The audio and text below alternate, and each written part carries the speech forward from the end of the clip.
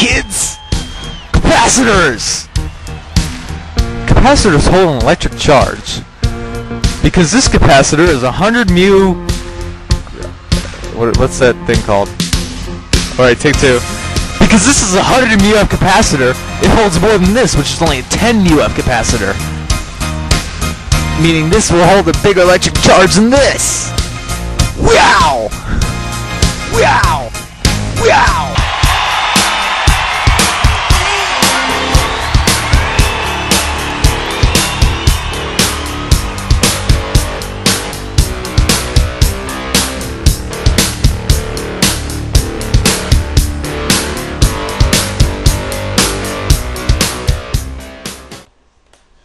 So how does this all work in the circuit? Let's get a breakdown.